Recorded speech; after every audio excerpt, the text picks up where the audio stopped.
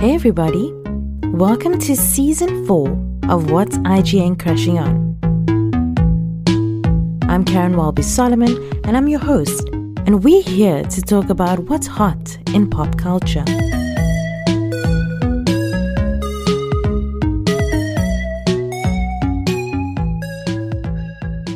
Today's episode is brought to you by Syntech. Syntech is a technology company that sources and distributes industry leading products and brands from around the world. Welcome to season 4, episode 11. Today on the show, we are joined by Mike Cabellion, Cabellon from Mr. Mayor, but you will listen to that interview late in the show. I know I, I started it by saying it almost like he's here now, but he's not. Um, but I am joined by my trusty homie Leanne. Leanne, say hi. Hi, how's it going? It's good. Yeah, as as we as we said, as I said up front, we have a great interview this episode, and um, was very exciting. Mr. Mayor is a comedy series that tells the story of a retired Los Angeles businessman, Neil Bremer, who is played by Ted Danson, and he decides to run for mayor of his beloved city. He surprises everyone and wins the seat. And with great ideas and commitment to the community, he optimistically sets out to get to work shaking up City Hall. However, he quickly discovers navigating politics is not business as usual. Are opinions to be heard, ribbons to be cut, and foods to be eaten, all in the support of his fellow citizens. Luckily, he can rely on the know how of his political veteran deputy, RP, played by Holly Hunter, whose savvy and ambition make an equal parts friend and foil, and the dedication of his offbeat staff to keep him on the right path, as well as some inspiration from his teenage daughter. So, Mike Cabellon plays the role of Tommy, who is Neil's chief of staff. And this is such a fun show. It's created mm. by Tina Fey and Robert Carlock, who also did Kimmy Schmidt. Um, so oh, it's like it's oh, that yeah, actually it's, explains it's, a lot. it does. I mean, definitely like as off the wall as Kimmy Schmidt. Like there's moments where you're just like, what the is going on? it is, and it like oh, it's just that that pure bit of comedy so obviously, you guys would know if you listen to the show. You you probably know that that Tina Fey also did um, SNL, Thirty Rock, Great News, and many other films and TV shows and that sort of things. But um, yeah, and Robert Carlock is often her partner in that. So, I mean, we, you will hear in the interview later when I asked Mike, like, why he decided to audition for the show. And he's like, he literally just saw Robert Carlock and Tina Fey on the on the sheet and he was like, I'm in. I'm gonna audition for this show. And then he was like, and then they told him Ted Danson's in the show and Bobby Moynihan, and he was like, there was just no Done. losing. Done. To be fair, same when you when you were telling me that this interview is coming up, and you're like, oh, we should watch season one because it's on Showmax. Well, it was on Showmax. Mm. I think it might be off now. And literally, Steve and I binged it in like a week because it's so good. And it's so easy to watch. Like, it's super light. It's like 20 minute short episodes, very light, very easy watch. But it's so, so funny. And like, I'm really appreciating Ted Danson in his bureaucratic man in a suit energy. Like, it's giving because the first episode I was like, oh, it's just like him in Good Place, but not, but kind yeah. of like because he's like getting to Rocky suits and be that person. But I really like like they they do a lot more for his character here. Like it is actually interesting how he chose to get into this weird space because of his daughter mm. and how he's like trying to set a good example as like a single father and then like his daughter's also just like a full character on her own which is hilarious yeah. to see them interplay with stuff. And then yeah Holly how is his daughter that young though? I'm, I'm just like yeah. She's very young. Like i have old parents and even i'm like but okay. Yeah because we didn't know because in one was. of the episodes in one of the episodes they like he was he's like 70 or something. Yeah, and she's like in high school still. So yeah, but I mean, his Wild. wife could have been very young. We don't know. Yeah, we they don't, don't actually. Yeah, I just yeah, it's, it's so good. It's also the only other thing I've seen. So his other chief of staff, the the lady, she's Uh, played- Michaela. Yes, Michaela, played by Vella Lovell, because she used to be in My Crazy Ex Girlfriend. She was like the Yeah. neighbor, and I loved her in that. So like when we started watching and I saw, I was like, oh my god, it's the neighbor. Um, very cool show. when I was watching it. So I also I watched it and it was just such a joy. Like it was just such a burst of, you know, happiness for like 20 minutes just just sitting down and this is how I felt while watching it, which I was so excited to get Mike on the show because I was like, you know, I'm I, I really love this show. And another thing that I also quite enjoy about it is that the Ted Danson character, like usually when you see Ted Danson in a show, he's always a little bit like dumb. Do you know what I mean? yes. Like, but in this show, he's like, he's not dumb. He's just like, you know, he's a little bit old, so this like technology things he doesn't quite understand. But but he's actually very like strategic and very smart and like, you know what I mean? Like he's a good, nice person, but he's also quite smart and like.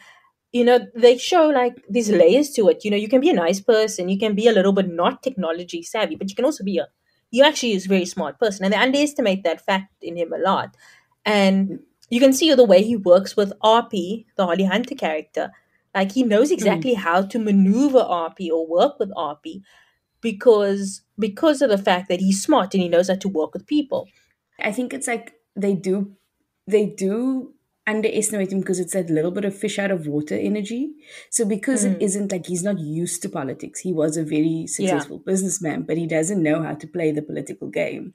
And so like the first episode where he wins and everyone's like, How did we get here? Oh my god, this is a disaster. Because you see him kind of fumble and whatever. But then to your point, he kind of the way you see him strategically manage people because he's just a people's person Mm. like that's his strength so i mean there is the there's the doors open for mishaps and for for him Yeah. making faux pas but like it's it's done in a very charming charming way Mm.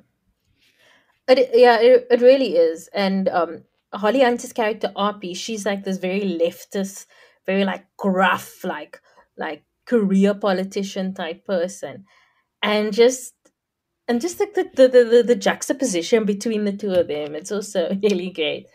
And and the way and because it's an ensemble show, so we have, as you mentioned, Michaela, we have um, Neil Ted Danson and his daughter Orly, and Jayden, played by Bobby Moynihan, and of course Mike's Tommy.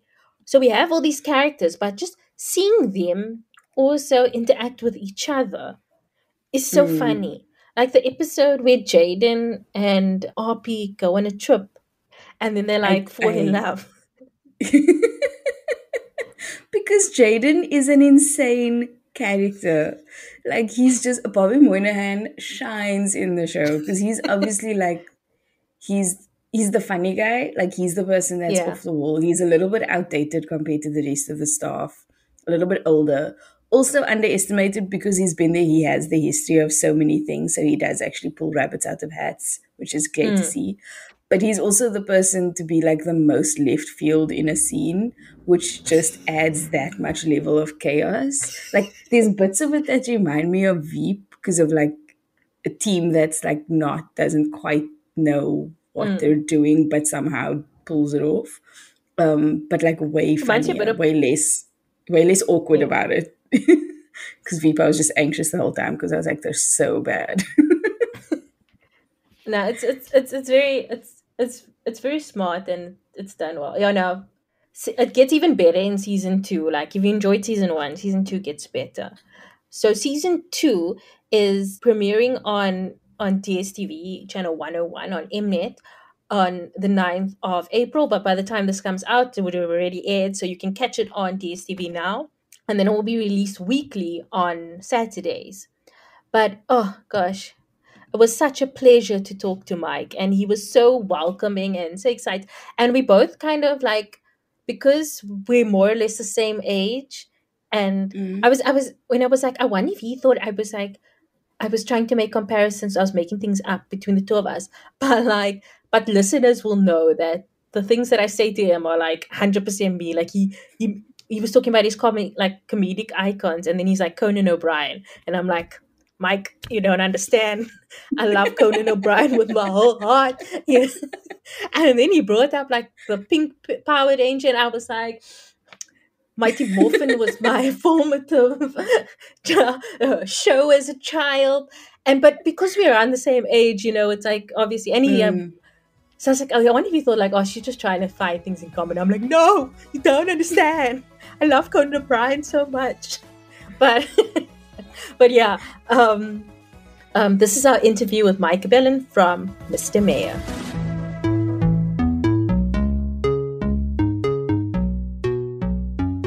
Um, so, how are you? How have you been? Wow, what a big question to start with. um, I've I've been okay, you know. It's been a lot of publicity the last few weeks, hmm. obviously. Mm. Um, but it's it's nice because this is the satisfying part of the job, right? You spend months and months shooting it and then you mm. wait for post production to be over and then it's finally out and you can you can see it, you know. It's fun.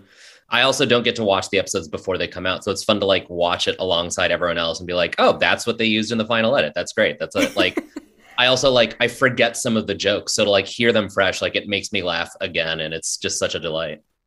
So, so okay, so tell me about why you decided to join the cast of Mr. Mayor. Like bring me up to speed here.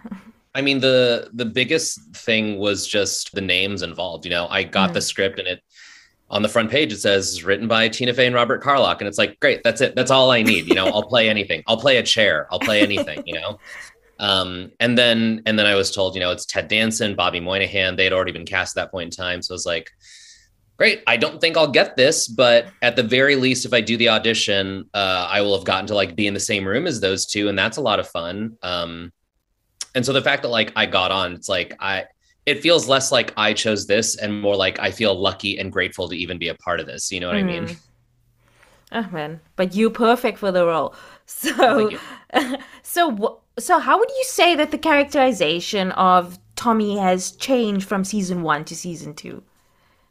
Um, I think in the second season he's gotten a lot nicer. You know, um, mm-hmm. in the first season he's, um, I mean, he's still catty and and a little mean. That's in his DNA, you know. but I think in the first season, you know, the mayor is new in the office and no one really knows what to expect. So everyone kind of has their walls up, and I think Tommy has his walls up most of all. You know, he's mm. he doesn't have an open heart and now in season two, you know, they've been in office for a year. And so he's a little friendlier with his coworkers. I'm sure you saw in the first episode of this season, there's new people in the office and that kind of shakes mm. up his sense of the hierarchy. So he starts to align himself more with his old coworkers.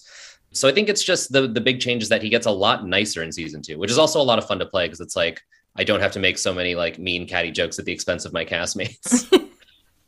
but yeah, you also get to see like Tommy interact with yeah, as you said, the his his. But I mean, I really loved in the last episode the um with Holly and the yeah, with, yeah. with, the shopping scene. Oh my gosh, the best! Like how Thank fun that was, was that? Oh my god, that was like one of my best days on set. That was so much fun, especially because Tommy is such a like stand and talk kind of character. A lot mm. of his mm. jokes are just verbal jokes and I'm comfortable with that. I love doing that, but it's such a nice challenge to get into your body and do something physical.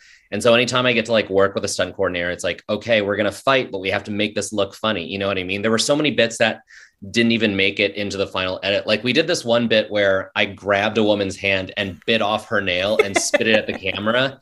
And it's like, that's such a funny joke. And like, there wasn't time for it in the final edit, but like, that's the kind of stuff that's like, it feels like a new challenge for me. It feels mm. like a new thing for Tommy is to not just say uh, a funny joke, but to like do something funny with. His, I think um, Bobby Moynihan gets to do it a lot. Jayden has a lot of physical comedy bits, mm.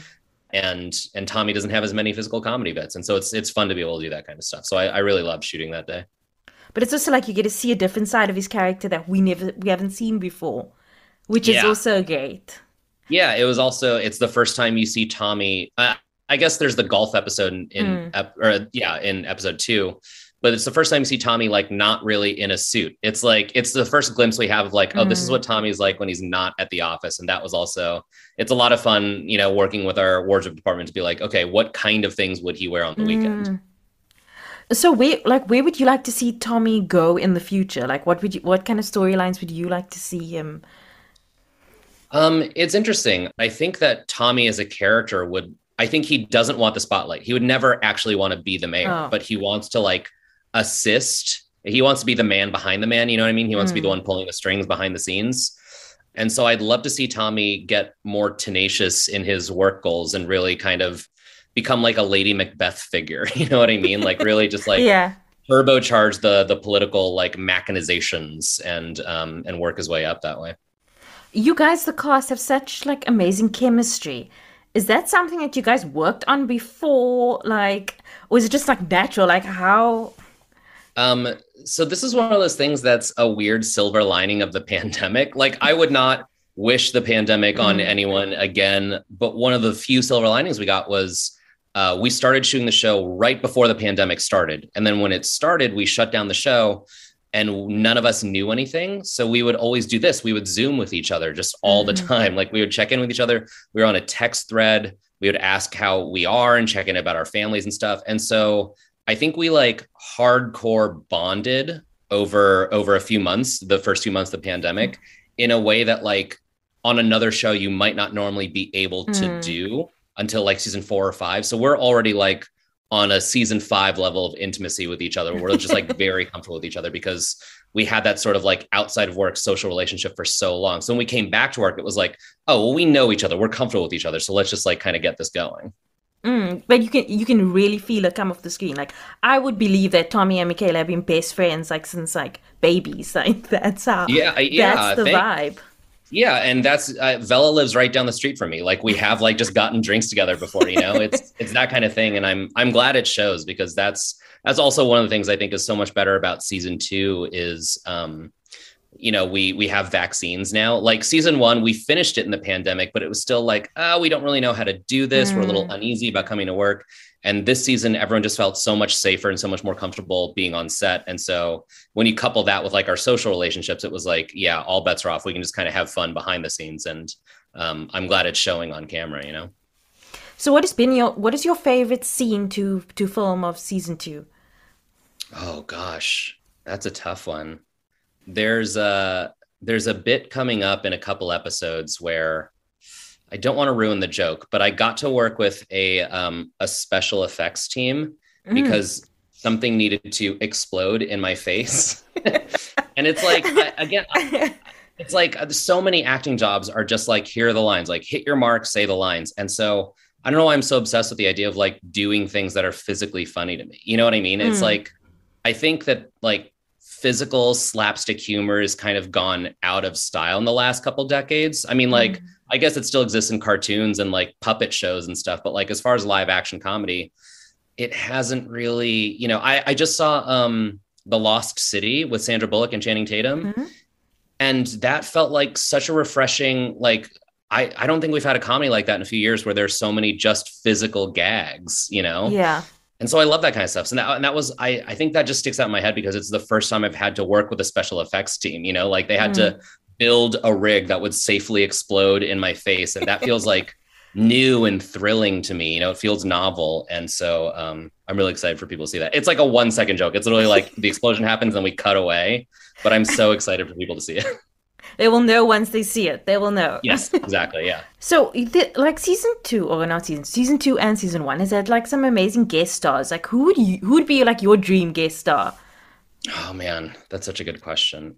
Um, I feel like th- this feels like a cheater's answer, but like, I feel like what we can get away with on the show because it takes place in LA and we Mhm. very proudly claim LA as like its own weird character is like we can bring in celebrity guests to play themselves. You know what I mean? So like we just had Fran Drescher, but she Mm. played a character named Angelica Masters, but we also had Andie MacDowell last season playing Andie MacDowell. And so it's like I kind of like there are people I want to meet who aren't actors where it's just like I just want them to play themselves. Like I love Edgar Wright movies. He's like my number one director. Mhm. So if Edgar Wright came on and just played himself as Edgar Wright, I'd be like, great. I just want to meet Edgar Wright. I don't even want to be in a scene with him. I just want to hang out with him on set and like pick his brain, you know? So, um, so like I know you you have quite a like a, a big comedy background. So, who are your comedy icons? That's a great question. Um, I I'll get the like kiss ass answer out of the way, which is like obviously Tina Fey and Robert Carlock, and it's like I know that sounds like I'm sucking up to my bosses, but like truly, I I graduated college and I moved to New York, and like that's when I like watched 30 Rock front to back and Mm. everything clicked for me. I was like, oh, I get this. This is like so my sense of humor.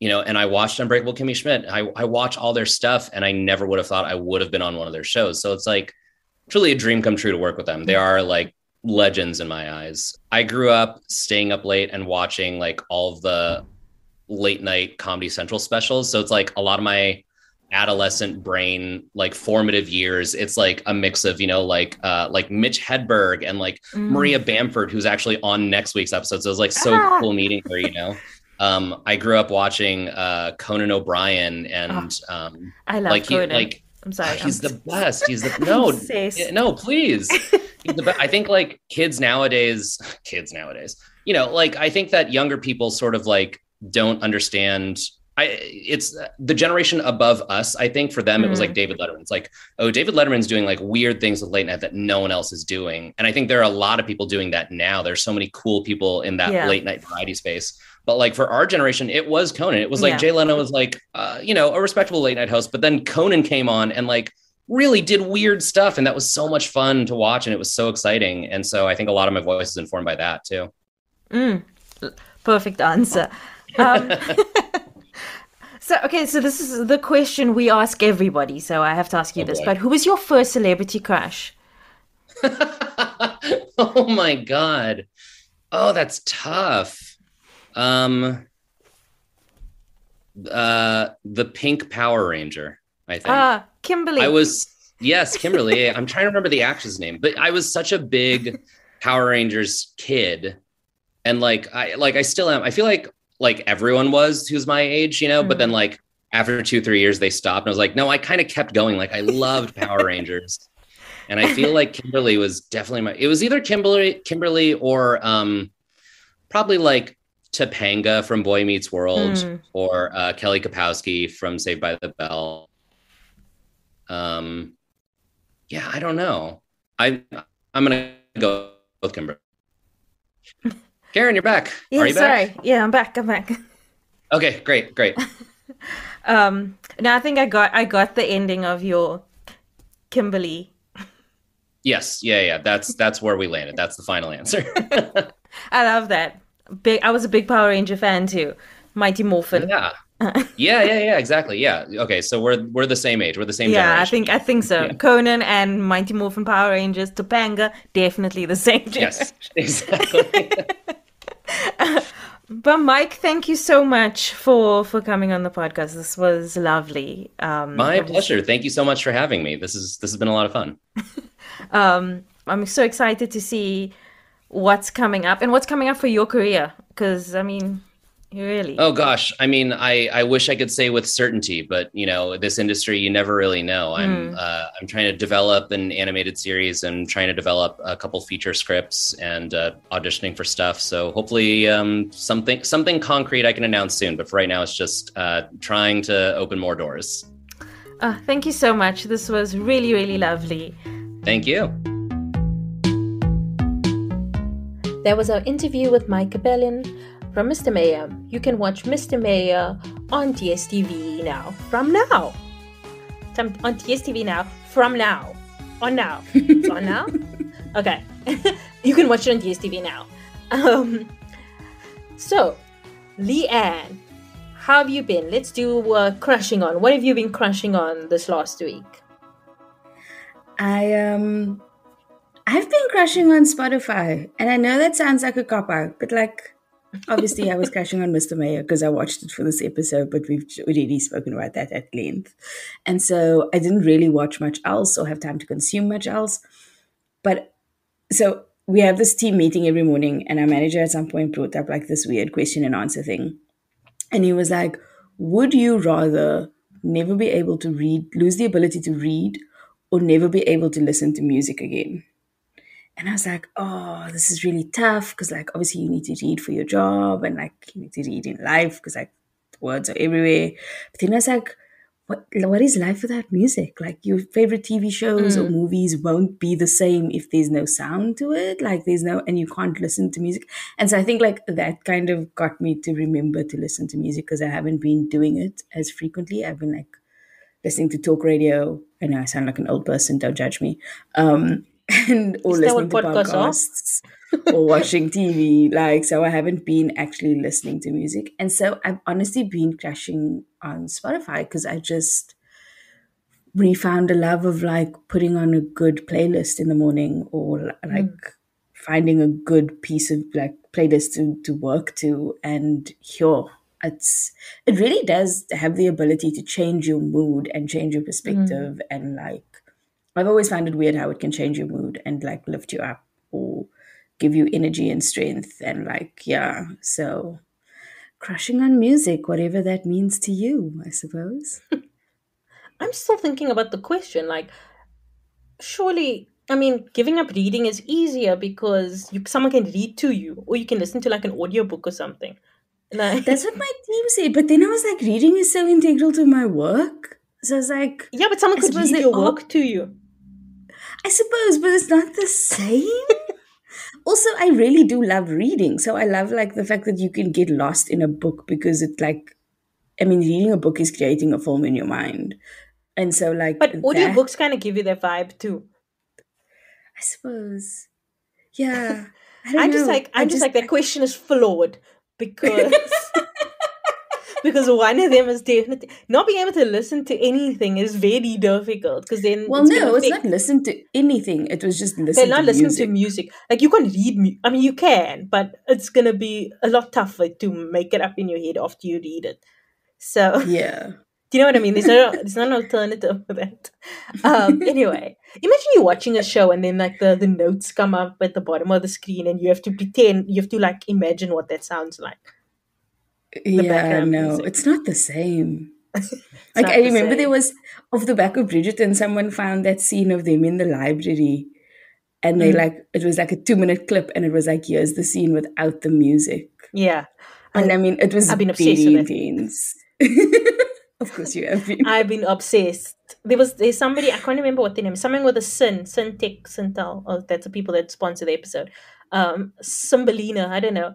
Somebody, um, who was who was taking out the music from the the scenes in Bridgerton, and it was just, I don't know. I just I loved it. It was so like so intense and powerful. Like oh, beautiful. Not, I mean, the music does add to it, but seeing it without music just also shows like how impactful the words and the acting and the Mm. mise en scene is. But yeah, um, that sounds cool, Leanne. No judges. Um, for me, I've been watching a lot of sketch comedy this week, and I've been crushing on a Black Lady sketch show. So it's about to start at season three, or I think it just started in the US, which means it's probably going to come to Showmax sometime soon. But season one and two is on Showmax, and it's just so funny. Like, like the whole thing is that black women haven't been given a lot of space in comedy in sketch comedy. Like in Mhm. like in Living Color they did, and in on Mad TV there was some. But the great thing about the Black Lady sketch show is that the the writing team is all black women, the the cast is all black women, and they so like the um the skits. I mean the sketches aren't necessarily just about like oh the black woman struggle. It's about like Yeah, random no. things like you know when you like go for your nails and like the the the the lady the, the nail lady keeps telling you about like about her life but she also keeps like adding prices on but you also awkwardly trying to tell her no i don't need this like you don't need to add an extra for the cuticle whatever treatment and like so then the, the their skit will be like the two of them talking but in the middle of the talking they're also like negotiating prices and stuff like that but Yeah. the, the pacing is done so brilliantly and there's it's just like you can feel like it's just people being comfortable in who they are and it's like you are sitting with your Mm. friends and you're just laughing about like like i mean uh, you always say that i always have this like random memories where, and then i start laughing to myself. It's like it feels like you're doing that on on tv like these people having these random like remember that time that girl fell on the stairs and she dropped like three gallons of hair gel and it was funny. Like something random like that. And they'll make a skit It's- out of that. Yes. like it's just it just feels so free and funny and like there's no constraints. You don't have to like with saturday saturday night live they often have to play to everybody there's a whole big audience saying this is not funny this is funny whatever whereas a black Mm. lady sketch show can just be who they want to be and and like it doesn't have to be everything for everybody So yeah, you can watch a Black Lady sketch show on Showmax. And that's it for our show. Catch us again here next week. So, bye-bye. Bye. Today's episode is brought to you by Syntech. Syntech is a technology company that sources and distributes industry leading products and brands from around the world.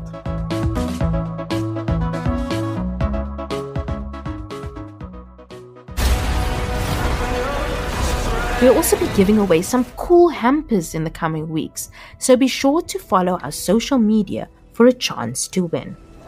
You need a doctor? I am a doctor. I should have died years ago. People all over the world have my disease. I'm here. To find a cure, We have to push the boundaries, take the risks. if you're gonna run, Do it now.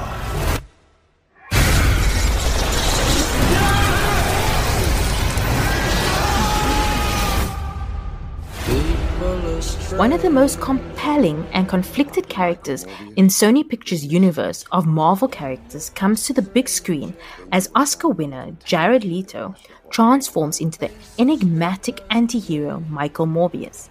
Dangerously ill with a rare blood disorder and determined to save others suffering his same fate, Dr. Morbius attempts a desperate gamble.